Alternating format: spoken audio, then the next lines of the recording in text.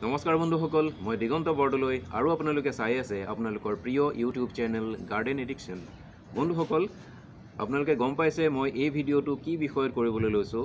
মোৰ সন্মুখত এয়া আছে ৰাবাৰ প্লেণ্ট ৰাবাৰ প্লেণ্ট এনেকুৱা এবিধ উদ্ভিদ যি আমাৰ চৌপাশে থকা বায়ুমণ্ডলৰ পৰা বিভিন্ন ধৰণৰ বেয়া গেছ কিছুমান খুব বিষাক্ত কিছুমান গেছ শোষণ কৰি আমাক শোধিত বায়ু বিশুদ্ধ বায়ু সেৱন কৰাত সহায় কৰে।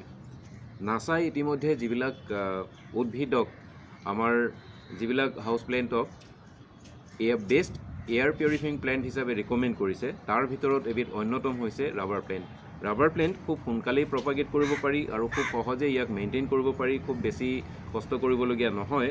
গতিকে এই ৰাবাৰ প্লেণ্টৰ বিষয়ে কিছু কথা আমি জানো আহকচোন। এই ভিডিঅ'টোত মই ৰাবাৰ প্লেণ্টৰ অলপমান কেয়াৰ আৰু তাৰপিছত ইয়াক আমি কেনেকৈ প্ৰপাগেট কৰিব পাৰোঁ কেনেকৈ ইয়াক গজাব পাৰোঁ। সেই বিষয়ে মই আপোনালোকক কিছু তথ্য জানিবলৈ দিম। আৰু এটা কথা কি জানেনে? আমি যিবিলাক মানুহ খুবেই ব্যস্ত হৈ থাকোঁ আমাৰ গছ গছনিক বা ফুলনিক দিবৰ কাৰণে আমাৰ সময়ৰ অভাৱ হয় তেনেকুৱা মানুহবিলাকৰ কাৰণে ৰাবাৰ প্লেণ্ট এবিধ খুবেই উৎকৃষ্ট উদ্ভিদ। ইয়াক আমি বেছি সময় দিব নালাগে। গতিকে যিবিলাক মানুহৰ সময়ৰ অভাৱ গছ গছনিক কেয়াৰ ল'বৰ কাৰণে তেওঁলোকে খুব কম সময় পায় তেওঁলোকে ৰাবাৰ প্লেণ্ট ঘৰ- ঘৰত ৰাখক। আৰু ইয়াৰ গুণাগুণৰ বিষয়ে মই কৈছোঁৱেই বিশুদ্ধ বায়ু আমাক সেৱন কৰাত ই যথেষ্ট পৰিমাণে আমাক সহায় কৰে। বায়ুমণ্ডলৰ পৰা কিছুমান বিষাক্ত গেছ ই শোষণ কৰি লয়।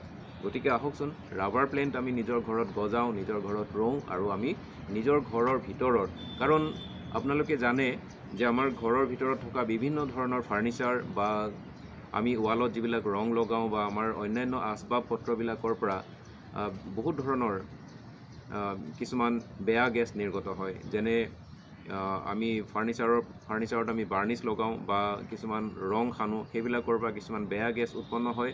আৰু তাৰোপৰি আমি যিবিলাক ডিটাৰজেণ্ট ইউজ কৰোঁ ঘৰত কাপোৰ ধোৱা চাবোন হওক বা লিকুইড হওক বা ঘৰ মচা যিবিলাক কেমিকেল আজিকালি বিভিন্ন ধৰণৰ কেমিকেল বজাৰত বজাৰত পোৱা যায় সেই ঘৰ মচা কেমিকেল চাবোন এইবিলাকৰ পৰা বহুত ধৰণৰ বেয়া গেছ নিৰ্গত হয়। এই- গেছবিলাকে আমাক বহু পৰিমাণে ক্ষতি কৰে আমাৰ স্বাস্থ্যৰ কাৰণে হানিকৰ। গতিকে তেনেকুৱা গেছবিলাকক আমাৰ ঘৰৰ ভিতৰৰ পৰা কেনেকৈ আমি উলিয়াই নিম? আমাৰ যিহেতু ঘৰ দুৱাৰবিলাক বন্ধ হৈ থাকে গতিকে ঘৰৰ ভিতৰত আমাৰ বিষাক্ত গেছৰ পৰিমাণটো অলপ বেছিকৈ থাকে। গতিকে আমি ঘৰৰ ভিতৰত এনেকুৱা ধৰণৰ কিছুমান উদ্ভিদ ৰখা দৰকাৰ যিবিলাকে সেই বেয়া গেছবিলাক শোষণ কৰি আমাক বিশুদ্ধ বায়ু সেৱন কৰাত সহায় কৰিব পাৰে। তাৰে ভিতৰত এবিধ অতি উৎকৃষ্ট মানৰ উদ্ভিদ হৈছে ৰাবাৰ প্লেণ্ট।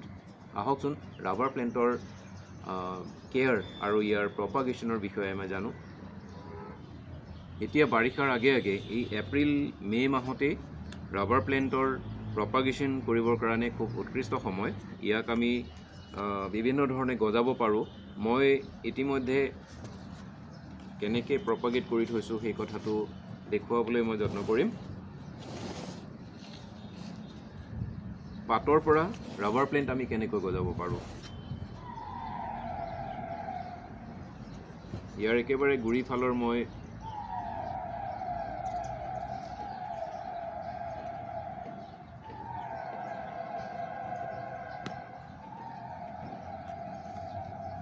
একেবাৰে গুৰি ফালৰ এটা পাত ছিঙি লৈছোঁ।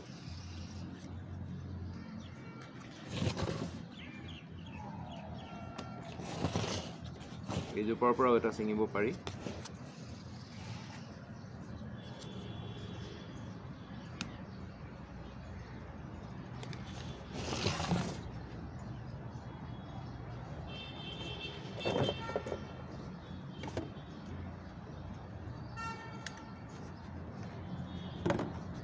এনেকুৱা যিকোনো প্লাষ্টিকৰ বটল ল'ব পাৰে।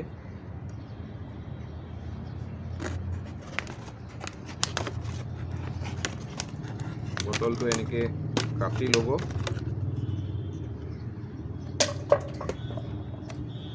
হৈ গ'ল কাৰণ প্লাষ্টিকৰ বটলত এইকাৰণে মই প্ৰপাগেট কৰিবলৈ কৈছোঁ কাৰণ এই বটলবিলাকে আমাৰ পৰিৱেশ প্ৰদূষণ কৰাত বহু পৰিমাণে অৰিহণা যোগায় প্লাষ্টিকৰ বটল বা প্লাষ্টিকৰ পল এনেকুৱা যিকোনো মোনা চোনা এইবিলাক সেইকাৰণে মই সদায় সকলোকে এইটো আহ্বান জনাওঁ যে আপোনালোকে এনেকুৱা ধৰণৰ বটল চটল টেমা টুমলি যিবিলাক থাকে এইবিলাক আমাৰ ফুলনিত যাতে গছ গছনি ৰোৱা কামত ব্যৱহাৰ কৰে যিমান পাৰে সিমান। মই এই কামটো মই পৰাপক্ষত বেছিকৈ কৰিবলৈ চেষ্টা কৰোঁ। প্লাষ্টিকৰ বটল মই সংগ্ৰহ কৰোঁ আৰু বাগিচাত এই সৰু সৰু গছ কিছুমান ৰুবৰ কাৰণে বা এনেকৈ পানীত যিবিলাক উদ্ভিদ আমি গজাব পাৰোঁ সেইবিলাকৰ কাৰণে এনেকৈ মই প্লাষ্টিকৰ বটল ব্যৱহাৰ কৰোঁ।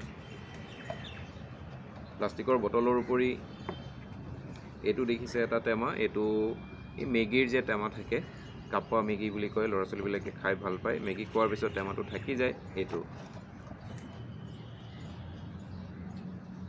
ইয়াত কৰিবলগীয়া একো নাই বিশেষ।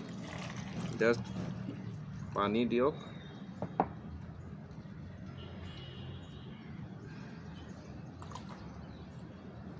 আৰু পাতকেইটা পানীত এনেকৈ থৈ দিয়ক। এনেকৈ থৈ দিলে সি এই পানীতেই সি শিপা গজিব। শিপা গজি পেলাই এটা সময়ত ৰুব পৰা অৱস্থা পাবহি। আৰু ঠিক এইটো মই দেখুৱাই দিছোঁ আপোনালোকক। এইটো মই কেনেকৈ কৰিছিলোঁ ইয়াত মই দুটা পাত দিছিলোঁ। তাৰে এটা পাত এনেকৈ পচি গ'ল গেলি গ'ল ই নগজিল। কিন্তু দ্বিতীয় পাতটো চাওক কি সুন্দৰকৈ ইয়াৰ শিপা গজিছে। পানীতেই মই থৈছিলোঁ। এইটো প্ৰায় দুমাহ হ'ল।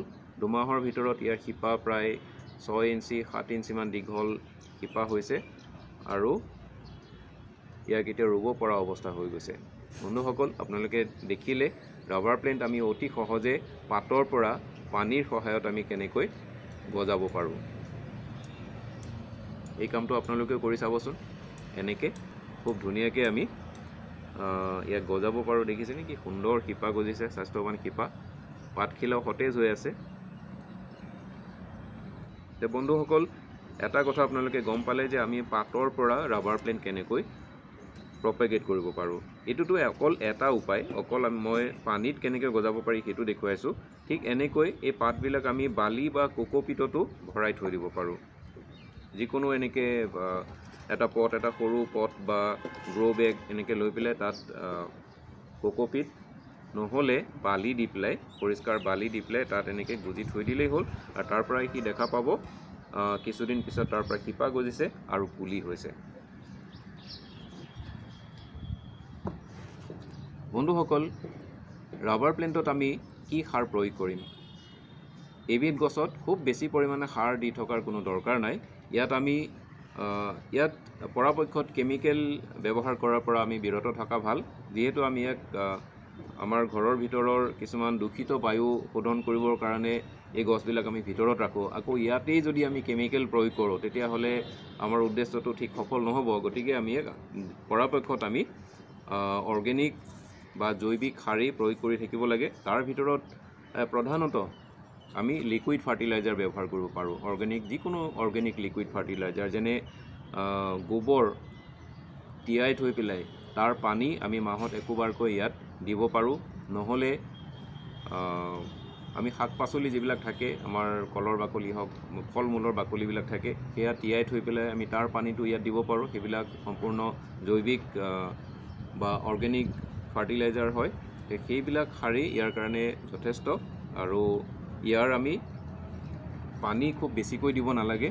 ইয়াক যদি আমি খুব বেছি পৰিমাণে পানী দিওঁ ইয়াৰ মাটিখিনি যদি একেবাৰে জেকি থাকে জেকনি জেকনি উঠি থাকে চগী হৈ থাকে তেতিয়াহ'লে ইয়াৰ শিপাবিলাক গেলি পেলাই গছজোপা মৰি যোৱাৰ আশংকা থাকে। খুব বেছি পৰিমাণে পানী দিলে ইয়াৰ পাতবিলাক হালধীয়া পৰি সৰি যায় আৰু গছজোপা মৰি থাকে। গতিকে আমি জাষ্ট এটা মেইনটেইন কৰিব লাগে ইয়াত যাতে এটা সেমেকা ভাৱহে থাকে। মাটিখিনি জাষ্ট সেমেকি থাকে এটা মইশ্চাৰ যাতে ইয়াতে মেইনটেইন হৈ থাকে। সেই কথাটোৰ প্ৰতি লক্ষ্য ৰাখিলেই হ'ল আৰু ইয়াত পানীৰ মানে একেবাৰে উপচাই পেলাই আমি এনি টাইম পানীত ডুবাই ৰাখিব নালাগে। আৰু তাৰোপৰি আমি কি কৰিব পাৰোঁ?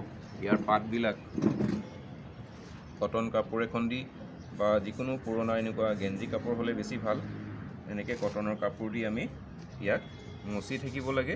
মচি থাকিলে ইয়াত যিখিনি ধূলি মাকতি পৰে ধূলি বালি পৰি থাকে সেইবিলাক পৰিষ্কাৰ হয় আৰু পাতবিলাক পৰিষ্কাৰ হৈ থাকিলে ইয়াৰ শালুক সংশ্লেষণ হোৱাত সহায় হয়। খুব ভালদৰে পাতবিলাকে নিজৰ গছজোপাৰ কাৰণে খাদ্য প্ৰস্তুত কৰিবলৈ সুবিধা পায়।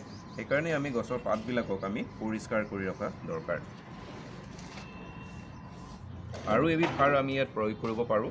সেইবিধ হৈছে seaweed fertiliser seaweed fertiliser আমি দুই ধৰণে ইয়াৰ প্ৰয়োগ কৰিব পাৰোঁ। এটা হৈছে চি উইথ ফাৰ্টিলাইজাৰ গ্ৰেনিউলছত আহে দানা দানা এনেকুৱা। মই অৱশ্যে ইয়াত আপোনাক দেখুৱাব পৰা নাই লৈ অহা নাই ভিডিঅ'টো কৰোঁতে।